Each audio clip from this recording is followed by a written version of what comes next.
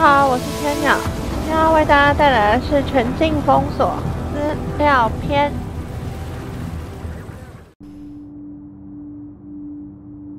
求生指南第十一页，艾波用黑笔写下了文字。我买了这本书，原本是想要在搭地铁的时候一边打发时间，但现在这件事情已经一点都不好笑了。我在百老汇拉法叶街站下车，那时大概是上午十点。我打算走路前往实验室。实验室位于一栋看起来并不起眼的建筑中，你压根都不会认为那里面有座生化科技实验室。那上面甚至没有 SBGX 的门牌呢。就在我离实验室。躲在建筑很近的时候，有两辆车在建筑物前面，因为紧急刹车而发出尖锐的声音。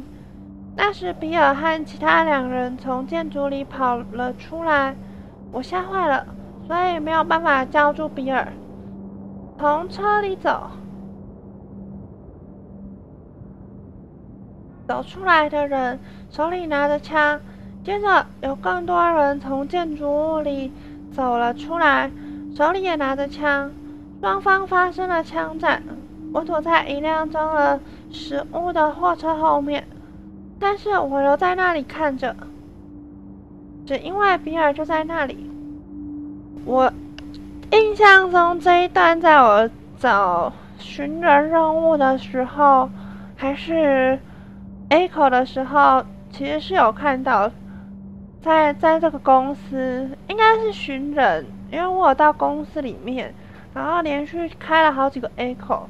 指南书毁灭哎灭绝等级事件，就如同字面上所说的，而我们也不打算在这本书中多加描述，因为如果你遇到那样的事情，你也没有机会活着看到了。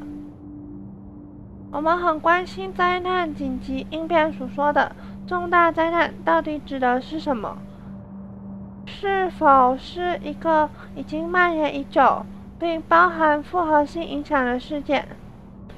有些欧洲国家使用“高复合型紧急状况”这样的用语，有不少人会拿了薪水来思考各式。各种可能性，我也是其中一个。他们也会根据下面的影响列表来将灾难的特性描绘出来。艾波用黑笔写下的文字，谁是谁？艾波用红笔写下的文字，我就快找到你了，沃伦。指南书：大多数或全体社区建筑都受到影响。包括紧急应变设施，当地应变机构都已遭破坏，或因缺乏人力或设施，因而无法采取应变措施，已经无法输送协助前往该区域，因为所有邻近区域皆受到影响。每日的社区功能已遭中断。破坏当地以及区域建基础建设，因为这需要由国家机关来负责。如果国家机关能能正能人运作的话，艾波用蓝笔写下的文字，每次都这样。指南书。换句话来说，我们现在孤立无援，现在不会有任何支援，可能要等上很久。现在需要靠你自己了。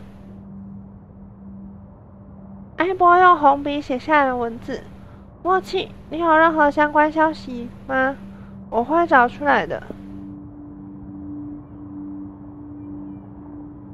艾波用黑笔写下的文字。事情来得很快，我在第一辆经过的车子里看到两个男子坐在后座，其中一个人满身是血。另一个坐在车子里面，但却和我四目相交。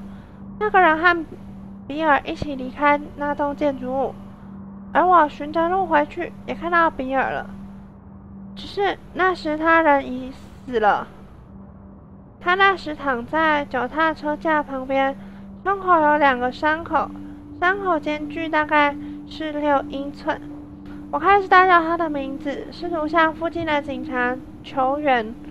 人行道上的那辆车有几个弹孔，车上的尸体还坐在座位上，但一半还在车内，另一半则伸出车外。逃出建筑物的那些人，把他的尸体弃置在人行道上。其中一个人把比尔的尸体拖上车，另一个人则拿枪指着我。他们穿着黑色连身工作服，应该是那种衣服吧，就是军事风格的那种衣服。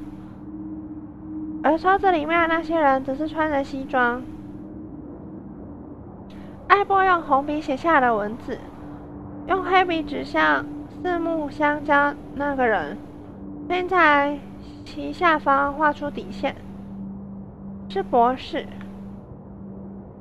指南书，我们拿意大利的庞贝城来举例好了。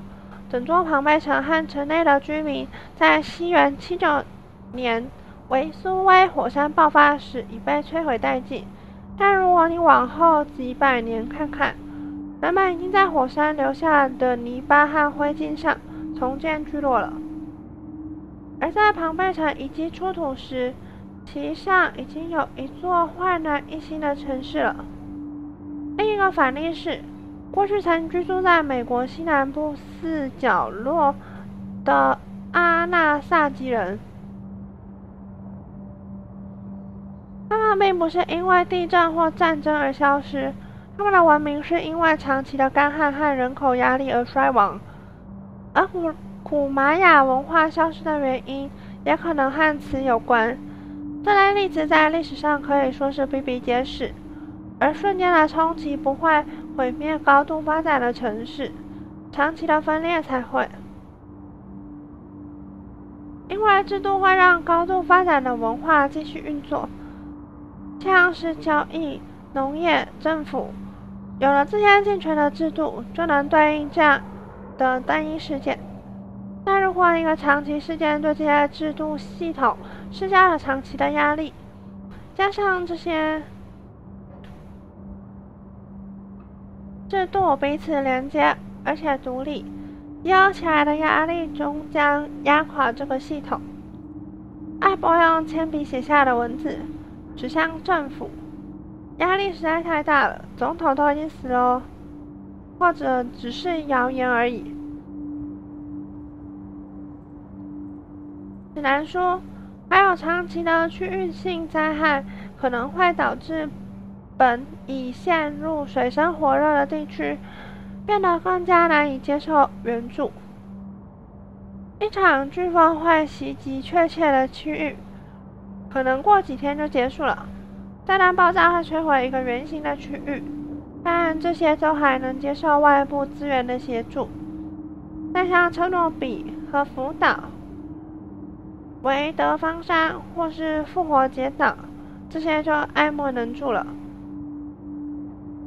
另一个关于这类型灾难事件的问题在于，当你意识到那是一件灾难时，事情已经发生了。例如天灾人祸，或者是因为某些。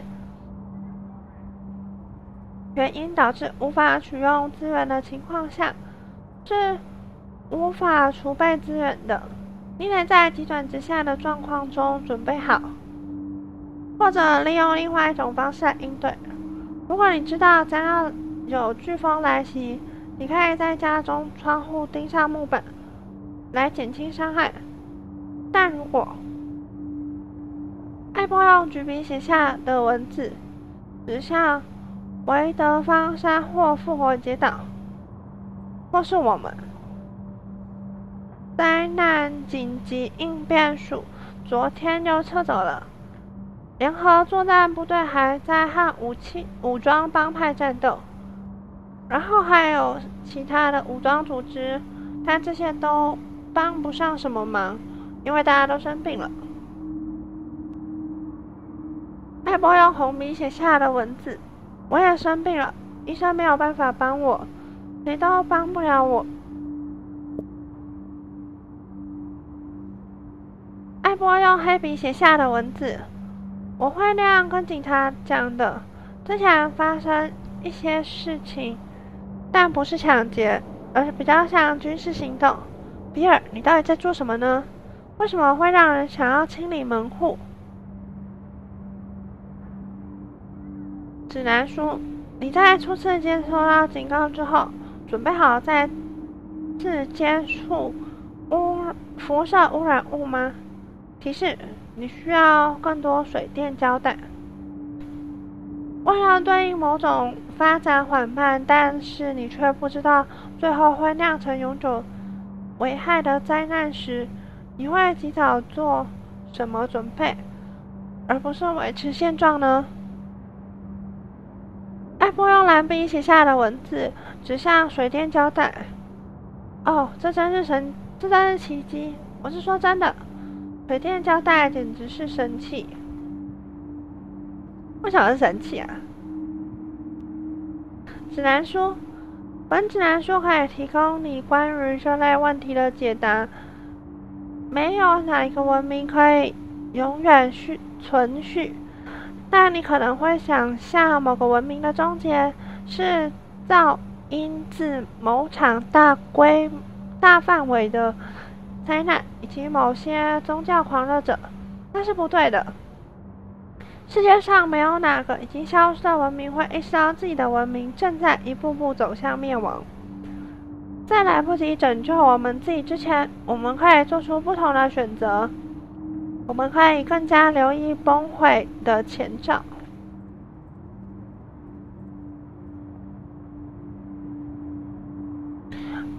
这本书的主题并不是如何进行短期准备，以及如何在灾难中生存。而是罗列各种不同的项目。本书不会有灾难紧急应变署、纽约市政府部门、电话公司、瓦斯公司、你的保险专员或你可以买漂亮靴子之处的联络资讯。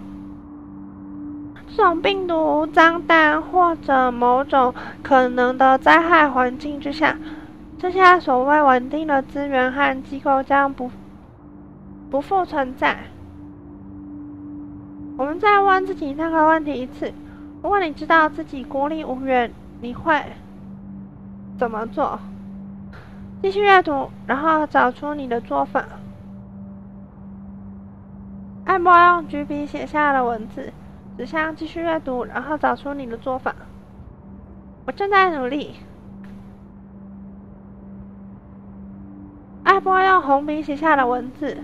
十二月二十六，联合作战部队已经被赶出哈德森吊车厂，退到切尔西了。还有赖克斯巴，一群追着他们跑的恶徒军力。莱克斯邦已经完全控制哈德森吊车厂周围的一切，并蔓延到地狱厨房。暗区现在已经完全封锁了，周围到处可见混凝土墙。和铁丝网，就我听到的描述来想象，这里就像是世界末日。混凝土墙和铁丝网，铁丝网还可以理解，混凝土墙有办法这么快的时间内就把它搭起来了。我已经好几个礼拜没到。第五十届以北了，因为我必须躲在红十字会的货车里，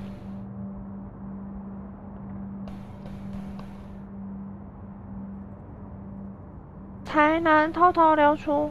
唯一一件能让我有动力去做的事情是找到默契。如果他躲在哈林区，那我运气就真的太好了。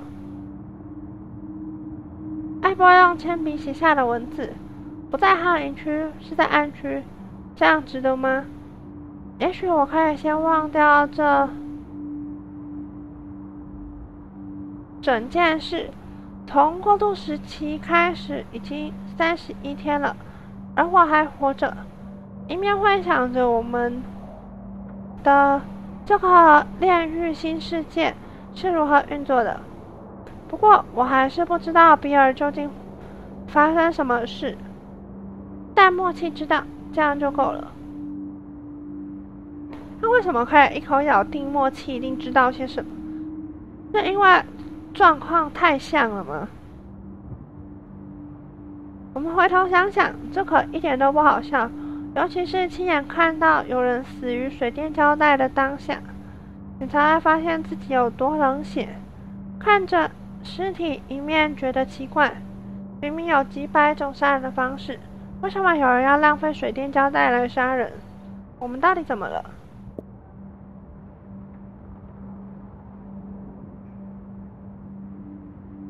求生指南第十五页，艾波用黑笔写下的文字：十二月五号，我没有办法不想念比尔。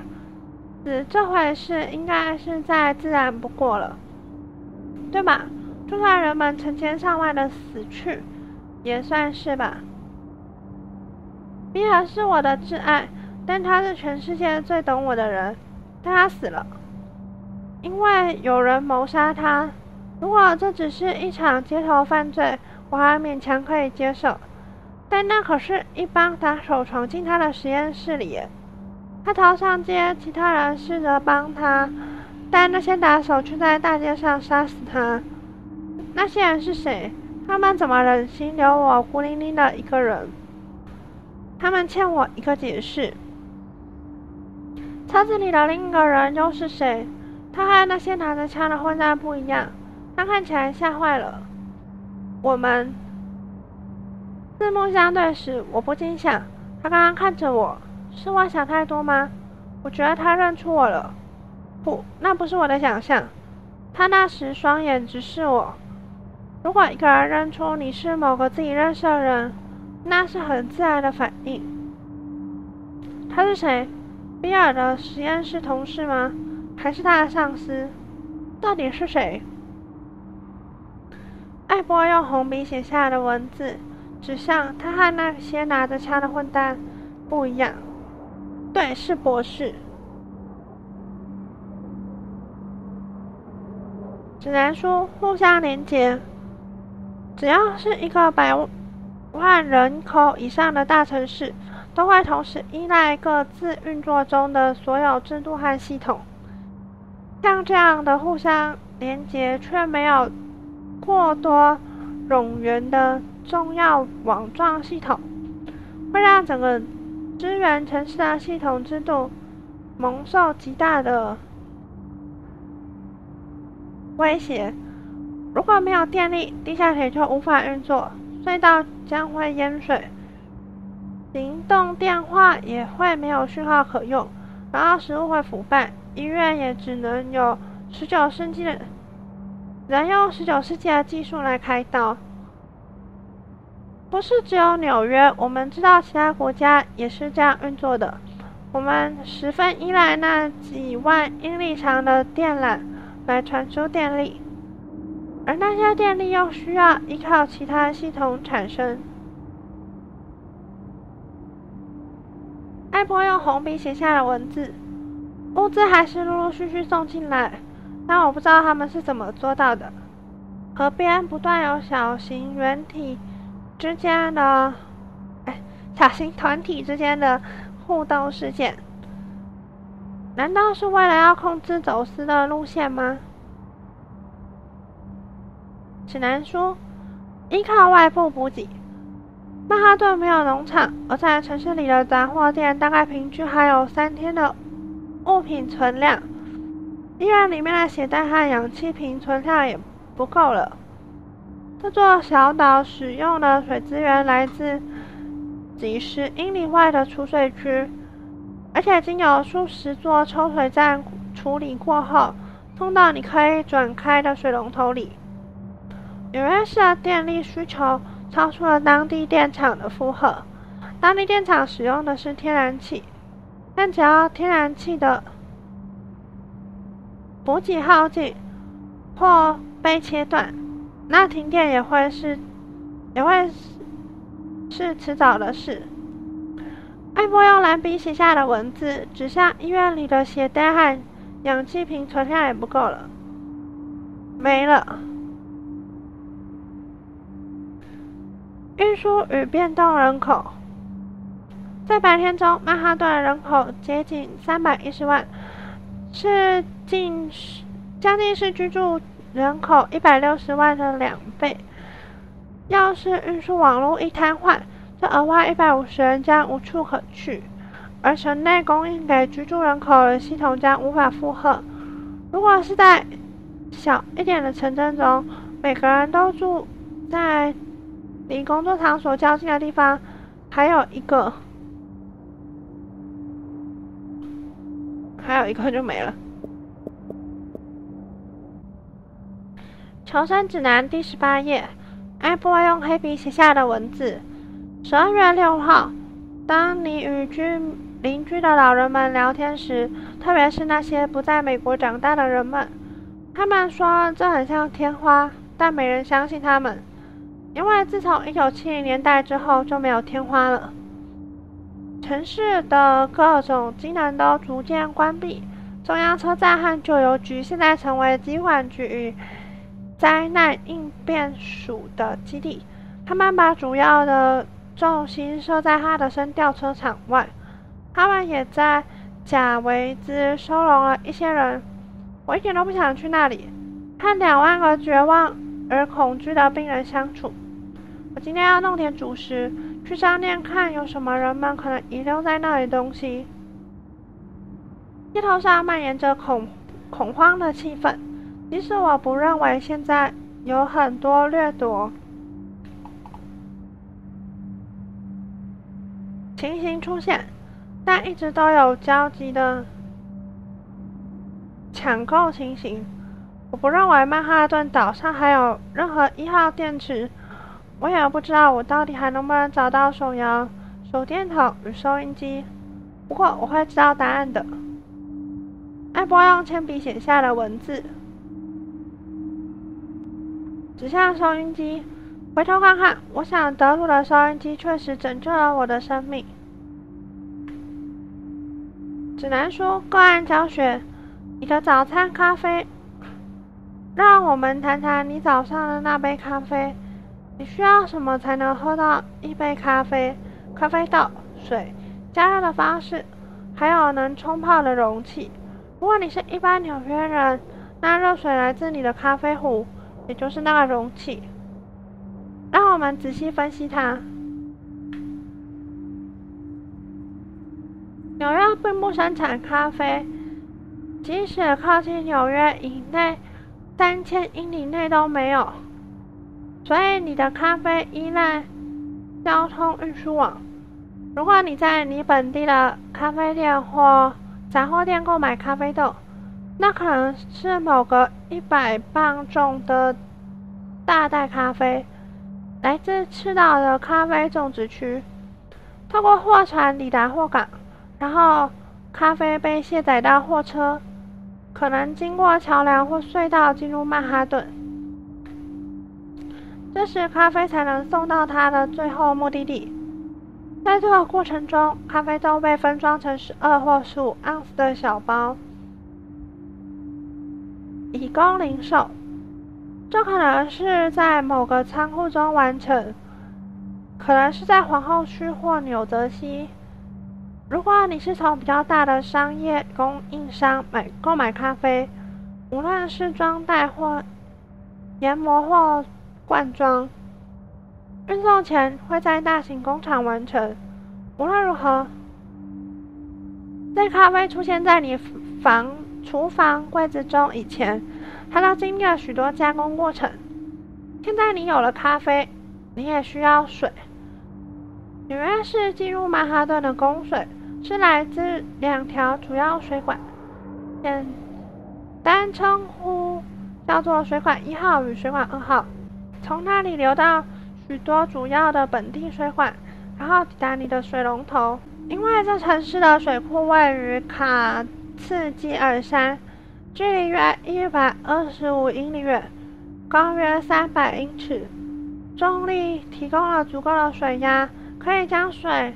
送到大约曼哈顿六层楼的楼层，所以如果你住在六楼或以上，那就是没水啦。艾波用铅笔写下了文字。我在一些地方看到太阳能板在建筑上供应电力。他们有热水吗？我能拿什么浇一个热水澡吗？你的水是由电动马达抽到你的楼层，在这过程中，水被氟化物及其他添加物、添加剂处理过，以去除潜在有害微生物，并改变酸碱度，以避免在旧管线中融合铅或铜的成分。艾波用铅笔写下了文字，指向氟化物，提醒自己：我需要刷牙。指南书：现在你有咖啡和水了。你的咖啡机可能是中国制造的，至少可以确定不会是美国制。所以和咖啡一样，它需要经过船运、铁路与货车的组合，才能到达你购买它的商店。你把它从纸箱取，从纸箱拿出来之后，你会做的第一件事情就是接上电源插头，就是电力供应。纽约市的电力大约有九十五帕来自城市之外，从水力发电、石油和天天然气为燃料的电厂核能发电与部分太阳能或风力发电。能量转换为高压电，并在城市中不同地点变压降变压器降压转变到你的接点与线路可以负荷的程度。电力也是确保整个城市供水系统、过滤与处理厂安全的动力来源。在你制作完咖啡后，你把咖啡渣扔了或丢进你的垃圾桶。如果你扔了它们，垃圾最终会回到路边，然后由台有台垃圾车捡起来，并把它带到拖船或吊车场。然后你的咖啡渣与其他上百吨的垃圾开始他们远程洲际旅程，前往掩埋场或焚化炉。总结：你早晨的咖啡取决于交通运输、电力、水利与垃圾处理系统，不只是跨越纽约市，更是整个地球。你就如同其他人，将这些系统视为理所当然。但思考，万一这些系统他们不再运作会如何？艾波用蓝笔写下了文字：十二月十四，我不需要思考。距离我上次喝咖啡已经一星期了。如果他们解除隔离，我会飞去哥斯大黎加，然后永远不回来。十二月十八下午，喝到一杯即溶咖啡，可怕的东西，但仍旧美好。有那么一分钟，我几乎觉得重返文明。现在我梦想再次，哎，再洗次热水澡了。德鲁和米可这个地方已经把我宠坏了。艾波用黑笔写下了文字：电力在很多地方早就没了，不过在伊娃这还有。我们也不认为会持续下去。昨天十二点有疫苗，他们告诉我们留在家中会有小队逐户送上门，直到发完为止。他已经说有许多人不想等待。因此，在灾难紧急应变署的主要据点，靠近哈德森吊车厂那边，有相当大的暴动。电视台仍旧无讯号，网际网络断线，也没有人有手机讯号，所以很难知道到底发生什么事。伊娃和我留在屋内，以避免紧急灾难应变署来了却错过。反正我也不想去其他地方，我也想要去找警察，看他们是否有关于比尔的报告。有谁打算做这事情吗？求生指南第四十五页，艾波用蓝笔写下了文字。在我看来，降低风险的唯一方法就是不要离开你的房子。但是我没有房子，社会隔离实际上没有功效，因为我必须照顾伊娃。我已经尽量保持距离，至少我是这么认为。潜伏期多久？我还会生病吗？你什么都不知道，你怎么可能停止担心？指南书预防，你不可能预防一切，但你绝对能预防一件事：毫无准备就被干掉。听起来有，听起来有些吊诡。但大多数在城市系统灾难性失灵，我们所知道的世界末日状况，前几周或前几个月内死去的那些人，我们我都还来不及准备好替他们的墓碑刻字就死了。大部分不会有墓碑就是了。艾波用黑笔写下的文字，只像我都还没来得及。这是什么老笑话？我告诉你，我生病了。指南说：“做好准备，就如我荷兰祖先所说的，一个准备好的人能当成两个人用。有所准备下，你能避免崩坏初期混乱所导致的脆弱情况，你也能避免自己或自己所在乎的人死去。以更基础的直觉来说。”如果你有水源，你就能预防口渴；如果你有食物，你就能预防饥饿；如果你有太空塔，还有地方可以住；如果你能预防受冻而死；如果你有双氧水，你就能……哎，如果你有太空毯，还有其地方可住，你就能预防受冻而死；如果你有双氧水，你就能预防致命感染。明白了吗？减缓。如果你不能预防某件事发生，你至少能够减少面对它的风险。例如，针对大规模流行疾病的标准对应措施叫做社会隔离，那就是一直尽可能将人们隔绝开来，以减少传染可能性。这就是减缓的策略。艾博用黑笔写下的文字，那就是为什么灾难紧急应变署要我们等待疫苗小组，但从来没有来过。指南说，你个人的减缓策略应该采用风险分析的方式，以成本效益思考下的行动可能有所危险。你应该闯入公寓搜寻米粮吗？你应该去政府设立的食物供应站。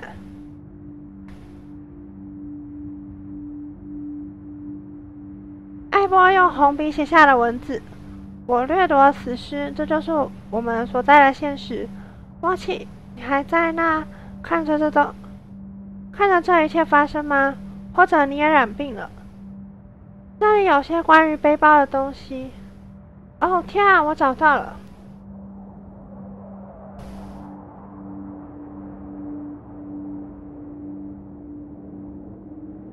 铅笔写下的文字。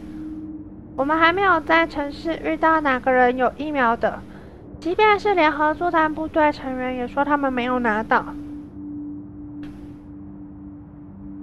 或许他们被要求这么说，就像你在。其他地方提到的默契，但我不认为有任何疫苗送到这里。谁有疫苗？真的有吗？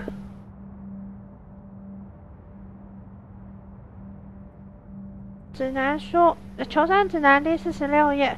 指南书，即使成千上万的绝望人们在，即使有全成千上万的绝望人们在哪里？你是？你不是该信任你遇到的人吗？这句有点看不懂哎。艾波用红笔写下的文字，不不不，艾波用蓝笔写下的文字。你不是该信任你遇到的人吗？不，特别是在我今天看到的状况后，饥饿的人们在街上被射杀，因为他们饿了。这不是，我是说。这还是美国吗？指南说：“仔细思考这样的选择，你能降低风险。你也能透过规划来降低风险。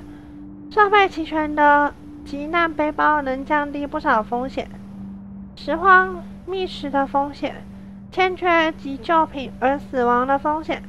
降低风险就从规划开始，小心预防。”艾波用蓝笔写下了文字。必须信任某个人，没办法独自完成。指南说，避免你在我们所知道的世界末日环境中没有办法避免所有情况，但你的确能避免一些事。例如，如果有颗脏弹爆炸，你能借由。移动到上风处，避开辐射。哦，所以脏弹是核弹哦。那我不写核弹就好了。在台风时，你能上楼以避免水患。以长期来说，你能够透过提前预测潜在危险情况来加以避免。觉得辨识是什么情况？并及时采取行动。如果出现了大规模流行病，不要等到社会隔离或简易隔离，避免大群人潮。如果有战争或暴动内乱，也要尽量避开。这些措施交互影响，才能确保万无一失。若你能长期在心，预防、减缓与避免，你就能以独立的求生观点训练自己去思考。艾波用红笔写下的文字，不是联合作战部队，不是军队或国民兵，而是不同的组成，是国土战略局。默契，你试图告诉我什么？